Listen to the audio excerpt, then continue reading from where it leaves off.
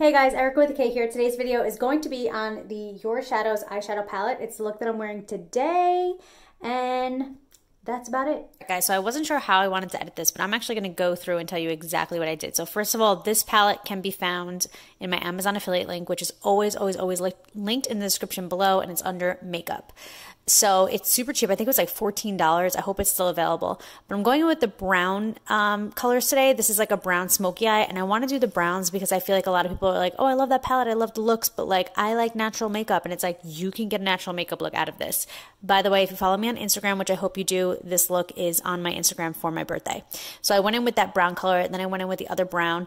And I'm using the same brush since they're similar colors. And I'm basically just building this up at this point. Just kind of building that color up a little bit. I want this to be very smoked out. I don't want any harsh lines. And so there you go. This is a MAC brush. It's about 9 billion years old. And um, it's just very fluffy. I don't know if you can tell, but I'm not using a lot of pressure at all. You don't want to use a lot of pressure.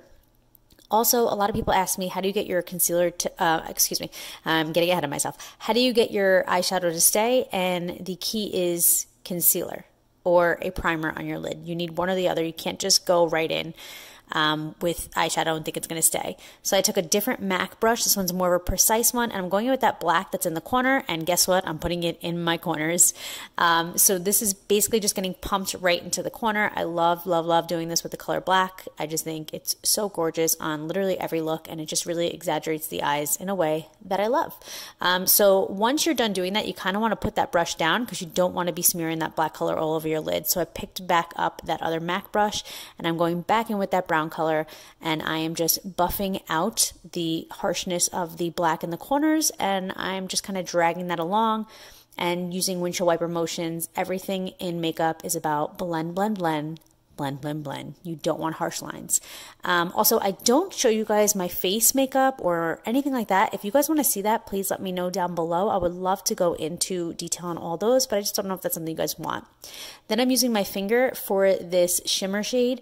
It's so pretty, but I think it's so important to address that either you have to wet your brush in order to get the shimmers to really shimmer, or you have to use your finger. I prefer my finger on myself.